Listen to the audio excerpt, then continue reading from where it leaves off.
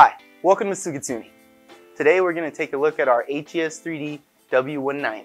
This is our new three-way adjustable concealed hinge. This has a wider throw than our HES 3D E190, which allows you to add a quarter inch cladding to both the door and the frame at the same time, or a 3 8 molding on your frame. This is three-way adjustable. You can adjust the height, the left and right position, and the depth. It also has a three hour fire rating. Great feature that all of our HES 3D hinges have is that the flanges do come apart, allowing you to install them beforehand, only needing one person for the installation. There are tabs that hold the hinge in place so the door doesn't fall off while you make your final fastening. They do come with cover caps to hide these screws, the adjustment screws, for a nice, clean, aesthetic look.